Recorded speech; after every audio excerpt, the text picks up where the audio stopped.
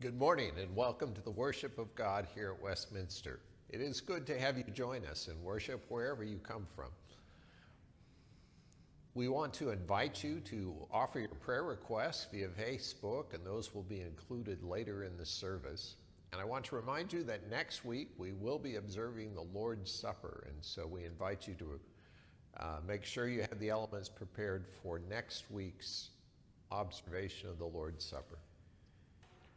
Let us unite in the call to worship.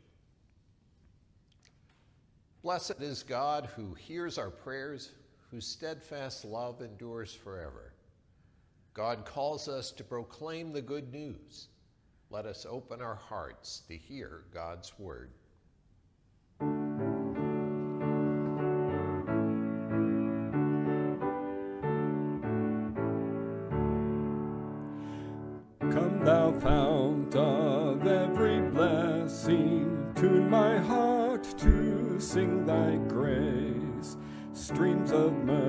Mercy, the increasing, cause for songs of loudest praise. Teach me some melodious sonnet, sung by flaming tongues above. Praise the mount I'm fixed upon it, mount of God's unchanging love. Here I raise my Ebenezer, hither by thy help I've come, and I hope by thy good pleasure safely to arrive at home. Jesus sought me when a stranger, wandering from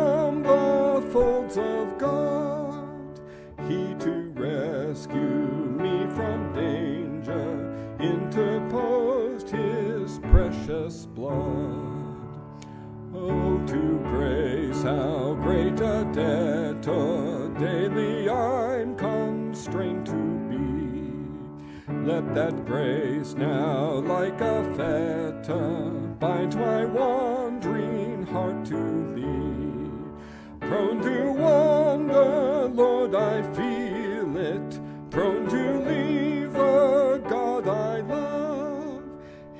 my heart, oh, take and seal it, seal it for thy courts above.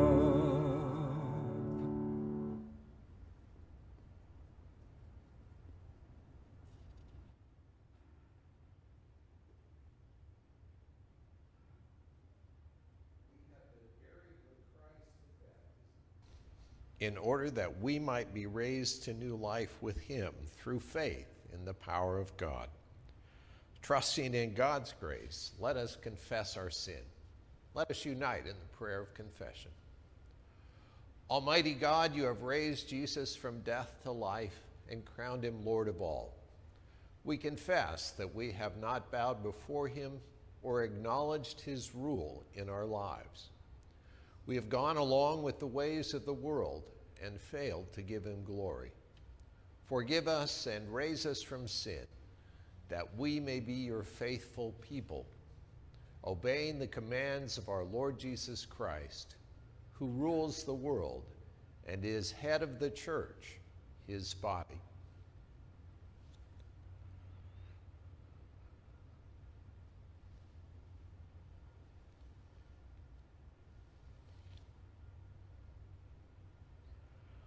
Amen.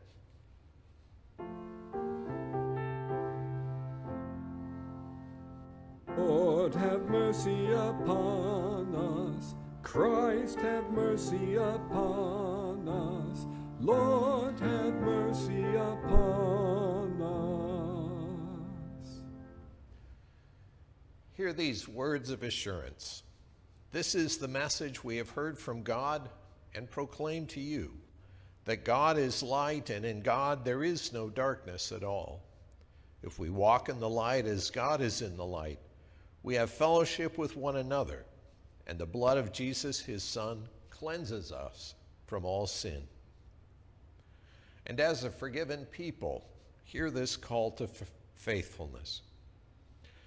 If then there is any encouragement in Christ, any consolation from love, any sharing in the Spirit, any compassion and sympathy. Make my joy complete. Be of the same mind, having the same love, being in full accord and of one mind. Do nothing from selfish ambition or conceit, but in humility regard others as better than yourselves. Let each of you look not to your own interests, but to the interests of others.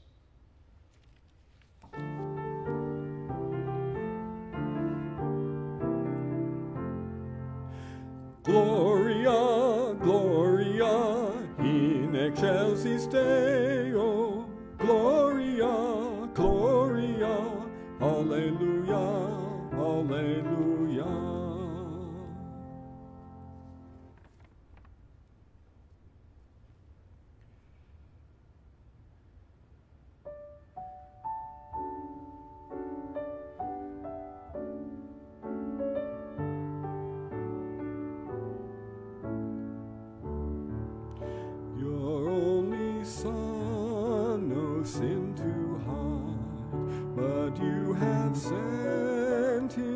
From your side to walk upon this guilty sod and to become a lamb of God. Your gift of love they crucified. They laughed and scorned him as he died.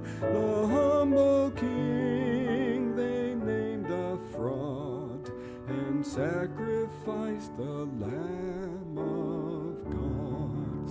O Lamb of God, sweet Lamb of God, I love the holy Lamb of God. Oh, wash me in his precious blood, my Jesus Christ, the Lamb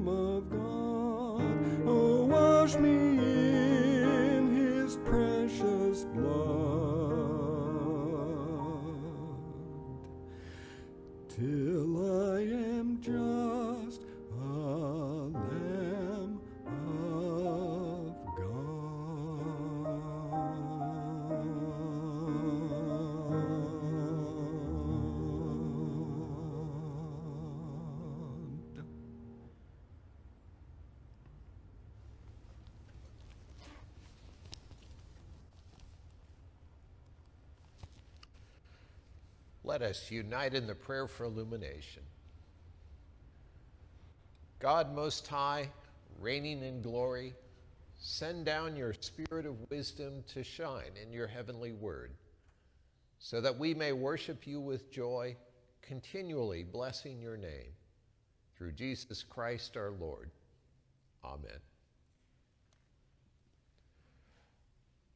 Our scripture reading for today is the entire book of Jude, a small letter that comes right near the end of the New Testament. Hear the word of God. Jude, a servant of Jesus Christ and brother of James, to those who are called, who are beloved in God the Father and kept safe for Jesus Christ, may mercy, peace, and love be yours in abundance. Beloved, while eagerly preparing to write to you about the salvation we share, I find it necessary to write an appeal to you to contend for the faith that was once for all entrusted to the saints. For certain intruders have stolen in among you, people who long ago were designated for this condemnation as ungodly, who pervert the grace of our God into licentiousness and deny our only Master and Lord, Jesus Christ. Now, I desire to remind you, though you are fully informed, that the Lord who once for all saved a people out of the land of Egypt afterward destroyed those who did not believe.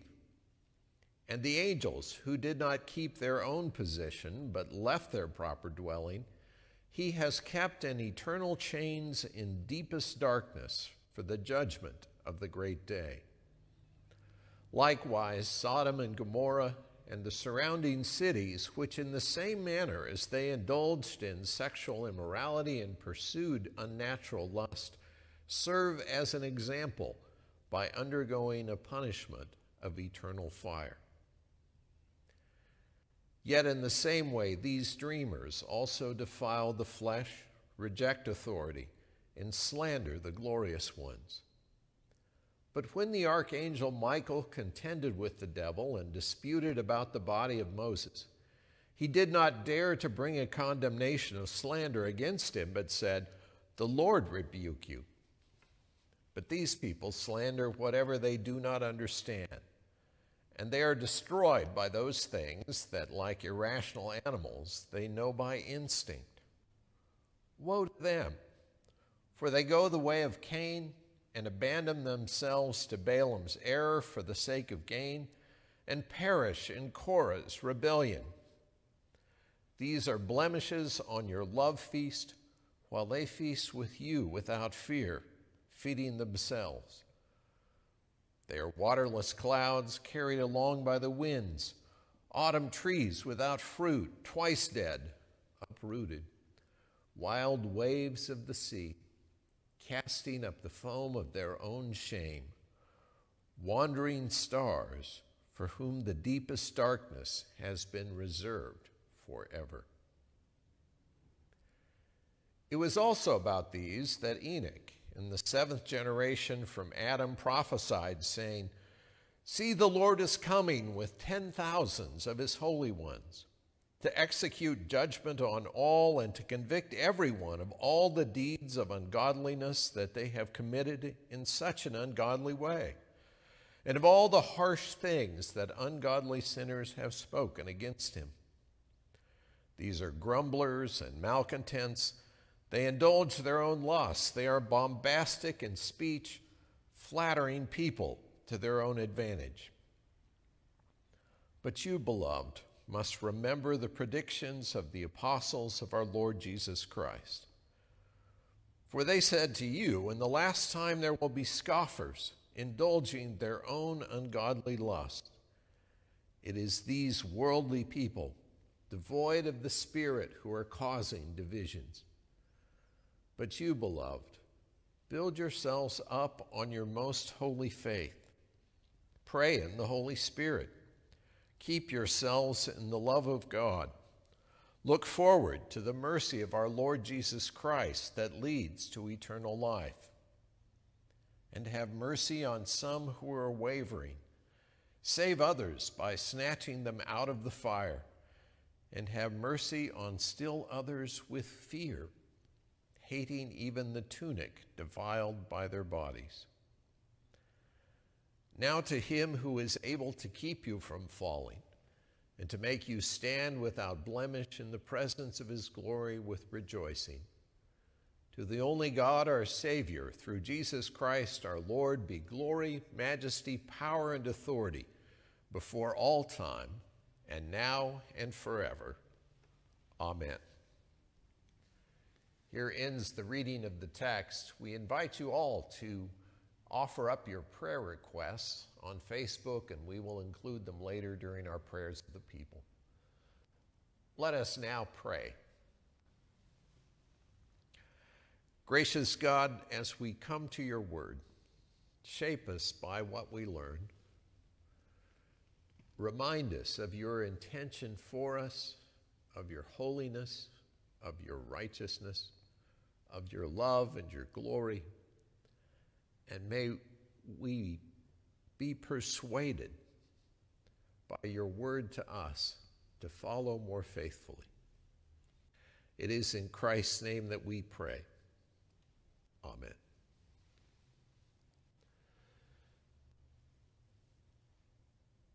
In a small book called The Great Divorce, C.S. Lewis talks about a bus trip that takes place between heaven and hell. The bus gathers up interested participants from down below and takes them up to the heavenly realm. And up in the heavenly realm, they find it hard to fit in. There's a lot of jostling to get in line, even though there's plenty of room on the bus. The driver is cheerful and pleasant, but those who ride on the bus seem to constantly quarrel with one another.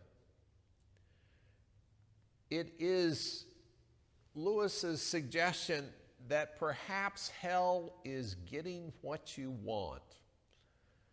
And those who populate the place are those who have no longer any desire to want things that are good, either for themselves or for another.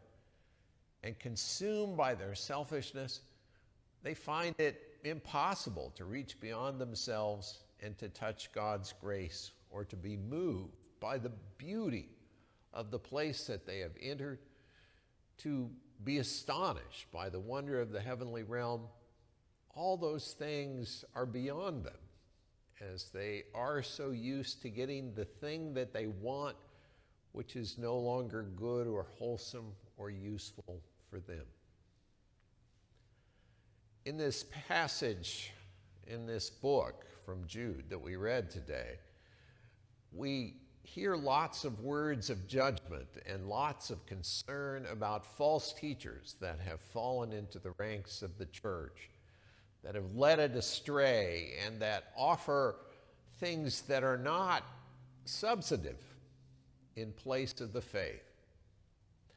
The story is tricky as you read it because there are so many allusions to texts that we no longer read.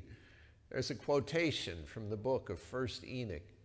There's a reference to a text called the Assumption of Moses, which was a popular discussion of Satan contending for the soul of Moses because, after all, he was a murderer. And the archangel Michael somehow interceding and making sure that Moses' soul is taken up into heaven. These odd allusions don't diminish the overall concern of the book with false teachers having come among us. If we look at civil religion in the United States, we discover there is plenty of falsity to it. We discover that our religion is more concerned with us than with the world as a whole. And yet we know that God loves the world and yet somehow we think God ought to love us in the United States even more. God bless America. Well, how about God bless everybody? That'd be okay and should be okay. And even as we pray for ourselves, and we certainly need to do that, maybe we should remember that if we become exclusively focused on ourselves, we lose our way we miss what it is that God would have for us. And it's a religion in the United States that says accumulation is the goal above all else. The more you have, the better off you are. The one with the most toys wins. And so that false teaching burrows into our heads every time there's an ad Every time there's some little newfangled thing put before us, it's amazing. Amazing to see uh, how quickly we can be led astray by false teaching. And the concern for Jude is that people abandon that kind of truth and instead pursue things that are simply indulgences. And these cause us to lose our way. Um, that's a, a powerful concern. I was thinking about um, the reality that um, there is tampering by foreign countries into our social media that seeks to influence the election. It's out there, and misinformation, things that are untrue, is uh, thrown to us all the time. And many people seek to deceive citizens of this country to present things that are untrue in hopes that disharmony, lack of unity, uh, chaos in our social order will make us a weaker opponent on the world stage.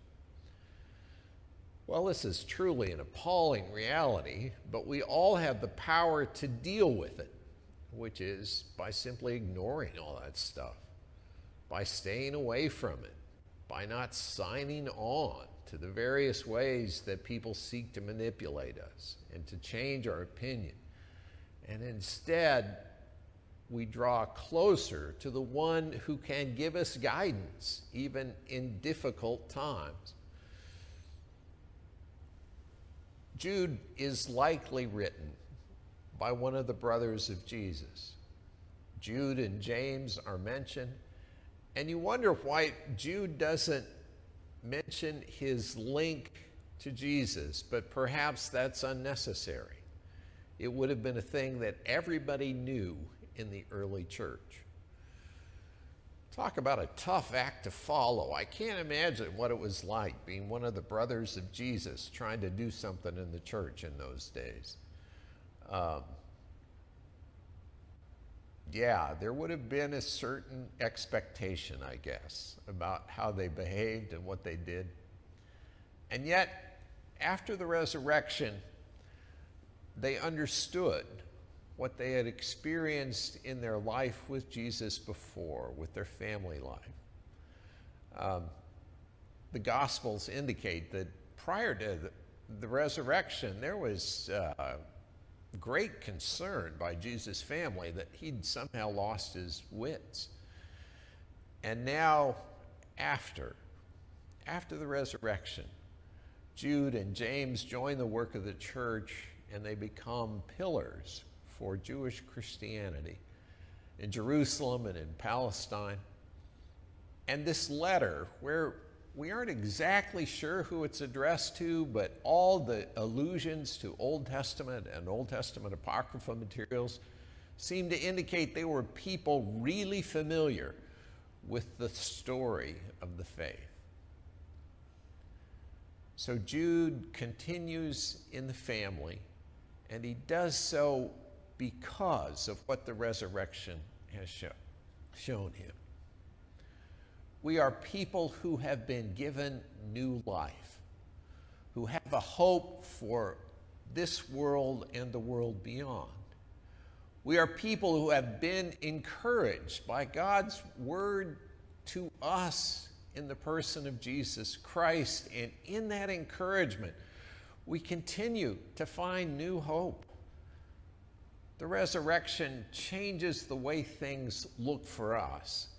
And even as deception and error and false teaching work their way into the modern consciousness and into the civil religion of the country, at the same time, we know there is a triumph. And as we lean into the resurrection, may we find new ways to be God's faithful people. People that cast aside those things that seem so attractive that the world throws up for us. And people instead that follow the way that Christ has shown us. All praise and thanks to God. To God be the glory. Amen.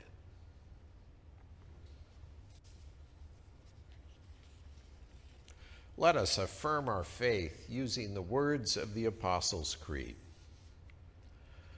I believe in God the Father Almighty, maker of heaven and earth, and in Jesus Christ, his only Son, our Lord, who was conceived by the Holy Ghost, born of the Virgin Mary, suffered under Pontius Pilate, was crucified, dead, and buried.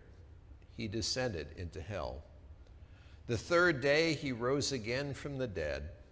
He ascended into heaven and sitteth on the right hand of God the Father Almighty. From thence he shall come to judge the quick and the dead. I believe in the Holy Ghost, the holy Catholic Church, the communion of saints, the forgiveness of sins, the resurrection of the body, and the life everlasting. Amen.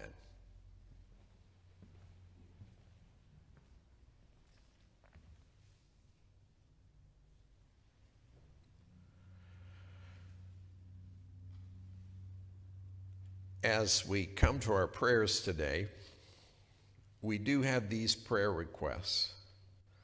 Uh, there's a prayer request for Shirley Scott's daughter, Susie, who is recovering following surgery. Um, prayers for the safe travel and successful trip of the prospective associate pastor candidate will be coming from New Orleans New Orleans and will be visiting in person here at West uh, this coming weekend. And then we have this anonymous request prayers to a friend who had successful surgery for her cancer. Now, prayers for her quick recovery. We continue to think of all those impacted by the recent hurricane and uh, we pray for their recovery and uh, pray for all those who are uh, assigned the, the duty of making sure the country helps out those in such circumstances. With these concerns in mind, let us come to God in prayer. Let us pray.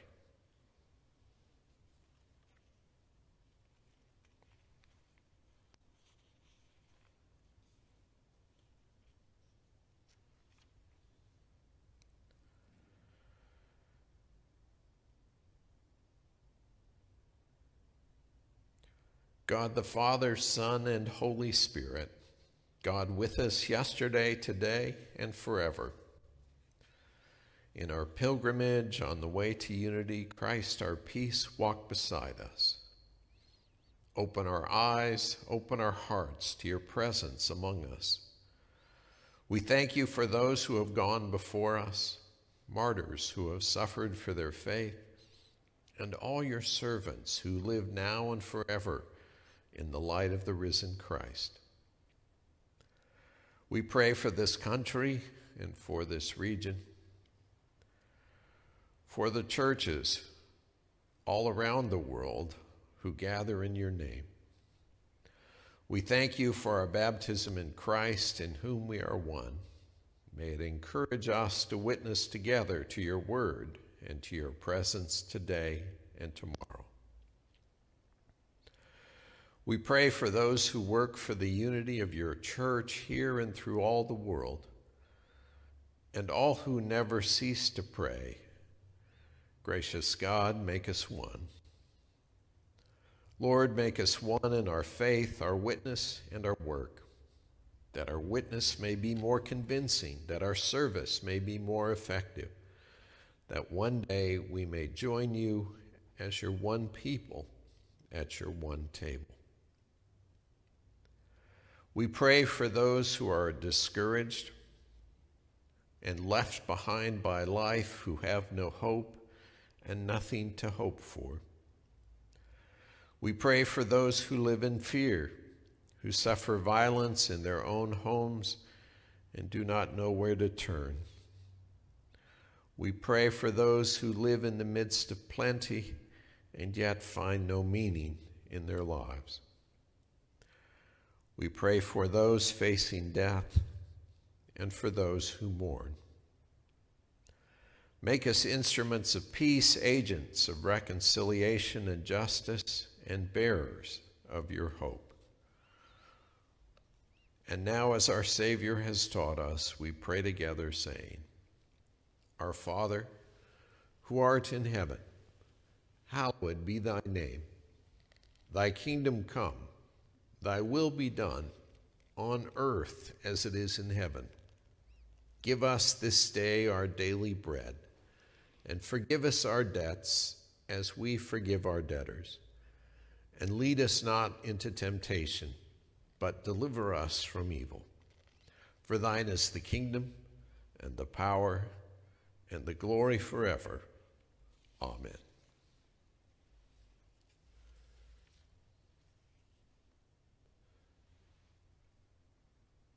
As we pause to offer ourselves to God, to think about our contributions to the work of this congregation and the work of Christ Church as a whole as uh, we reflect on the many ways that God has blessed us. Let us now offer our gifts to God.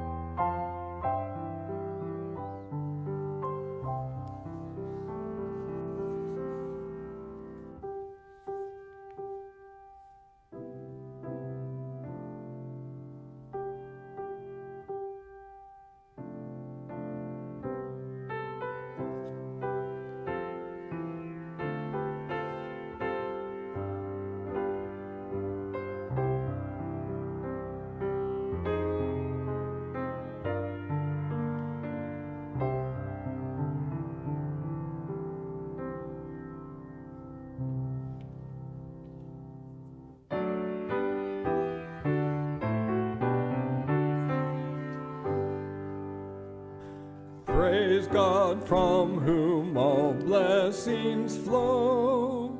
Praise Christ, all people here below.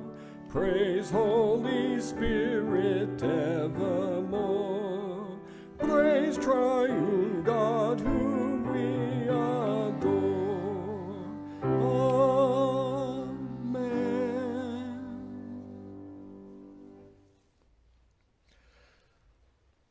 us pray. Gracious God, we give you thanks for the many signs of your goodness. We seek your blessing on what we offer this day, on our gifts and talents, on our treasure and time.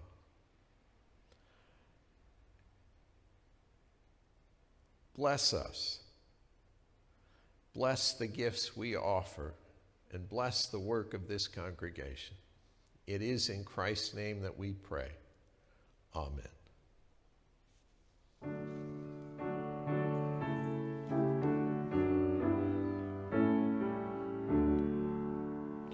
My faith looks up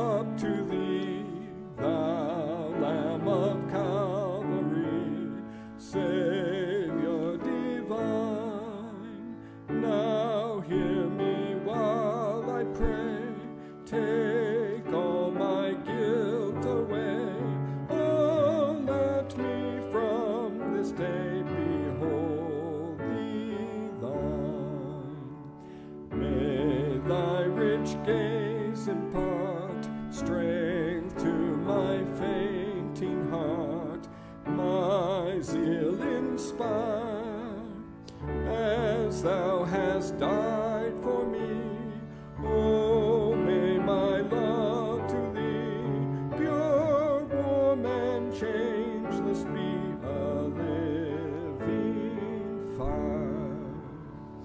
While life's dark maze I tread and griefs around me spread, be thou my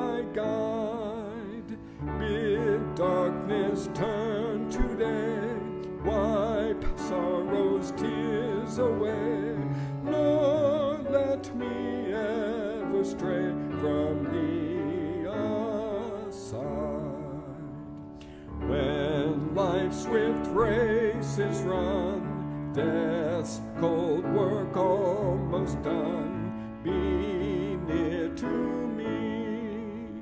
Blessed Savior,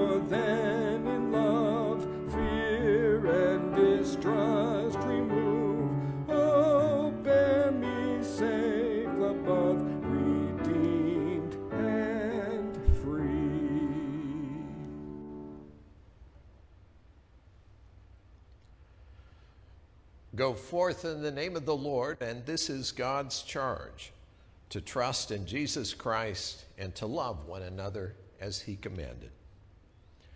Now to the one who is able to keep you from falling and to make you stand without shame in the presence of God's glory with rejoicing. To the only God, our Savior, through Jesus Christ our Lord, be glory, majesty, power, and authority before all time, and now and forever. Amen.